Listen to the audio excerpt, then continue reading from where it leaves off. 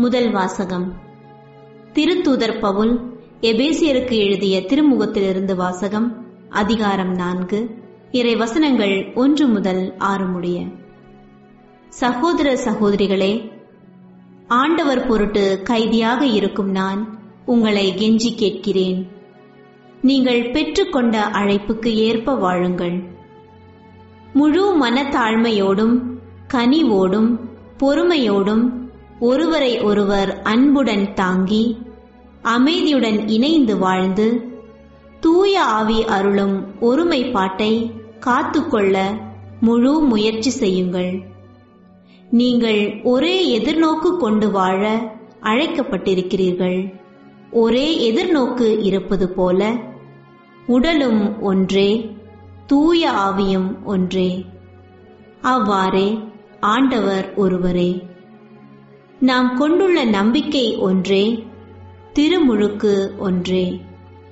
எல்லாருக்கும் கடவுளும் தந்தையுமானவர் ஒருவரே. அவர் எல்லாருக்கும் மேலானவர். எல்லார் மூலமாகவும் செயலாற்றுபவர். எல்லாருக்குள்ளும் இருப்பவர். இது ஆண்டவர் வழங்கும் அருள்வாக்கு.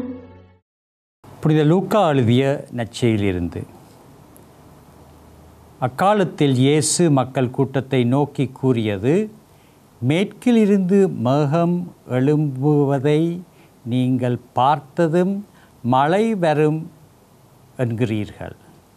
அது அப்படியே நடக்கின்றது. தெற்கிலிருந்து காற்று அடிக்கும் பொழுது மிகுந்த வெப்பம் உண்டாகும் என்கிறீர்கள். அதுவும் நடக்கின்றது. வெளிவேடக்காரரே நிலத்தின் தோற்றத்தையும் வானின் தோற்றத்தையும் ஆய்ந்து பார்க்க அறிந்திருக்கும் போது இக்காலத்தை நீங்கள் ஆய்ந்து பாராமல் இருப்பது எப்படி?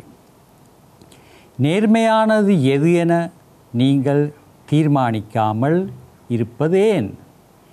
நீங்கள் உங்கள் எதிரியோடு ஆட்சியாளரிடம் போகும்போது வழியிலே உங்கள் வழக்கை தீர்த்து கொள்ள முயற்சி செய்யுங்கள். இல்லையேல் அவர் உங்களை நடுவரிடம் இழுத்து கொண்டு போக நடுவர் உங்களை நீதிமன்ற அலுவரிடம் ஒப்புவிப்பார். நீதிமன்ற அலுவர் உங்களை சிறையில் அடைப்பார்.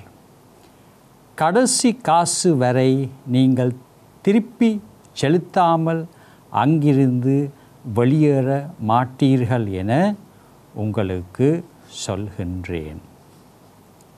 இது வாழ்வு தரும் இயேசு கிறிஸ்துவின் நற்செய்தி.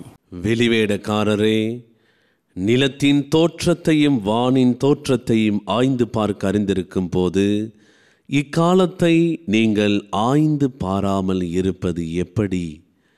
இன்றைய நற்செய்தி இந்த உலகிலே வாழுகின்ற எங்கள் எல்லாருக்கும் இறைவன் கொடுக்கின்ற ஒரு சவாலாக இன்றைய நற்செய்தி அமைந்திருக்கிறது.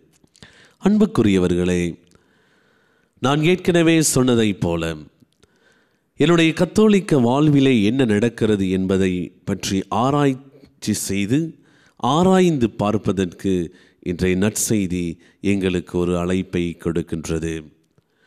இந்த உலகிலே நடக்கின்ற அனுதினமும் நடக்கிற எல்லா விஷயங்களையும் பற்றி நாங்கள் பல்வேறு விதமான வழிமுறைகளிலே பின்பற்றி வருகின்றவர்களாக இருக்கின்றோம்.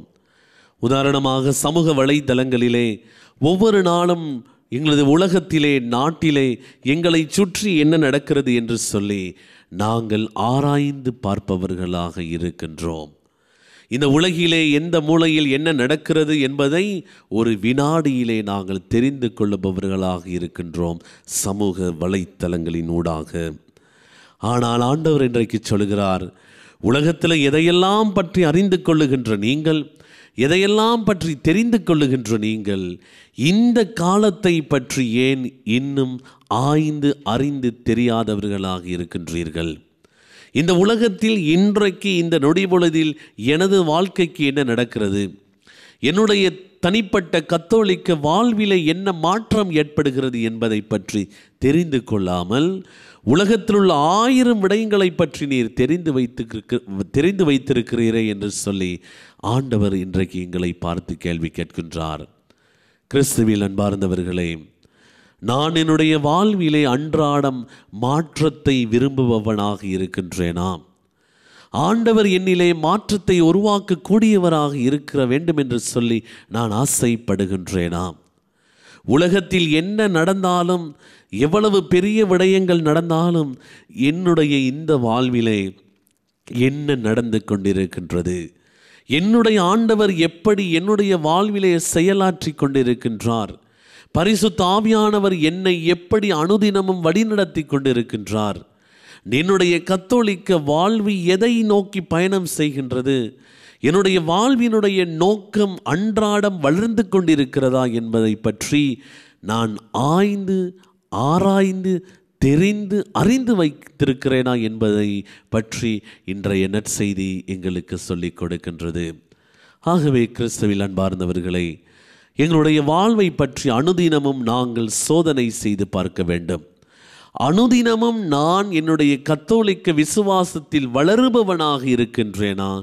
அல்லது என்னுடைய கத்தோலிக்க வாழ்விலே நான் விசுவாசத்தை இழக்கக்கூடியவனாக இருக்கிறேனா என்பதை இன்றைய நாளிலே நாங்கள் தியானிப்பவர்களாக இருப்போம். வாழ்வினூற்றை இறைவாம். இதனாலிலே விசேட விதமாக என்னுடைய தனிப்பட்ட வாழ்வை பற்றி சிந்திப்பதற்கு நீர் பெற்றுக் கொடுத்திருக்கின்ற இந்த நாளுக்காக உமக்கு நன்றி கூறுகிறேன். உம்மீது கொண்ட விசுவாசம் என்னாலும் என்னில் வளரவும் உம்மோடு சேர்ந்து பயணிக்கவும் எனக்கு தேவையான வரத்தை நிறைவாக கொடுத்தருளும். எங்கள் ஆண்டவராகிய கிறிஸ்து வழியாக உம்மை பார்த்து கெஞ்சு மன்றாடுகின்றோம் ஆமேன்.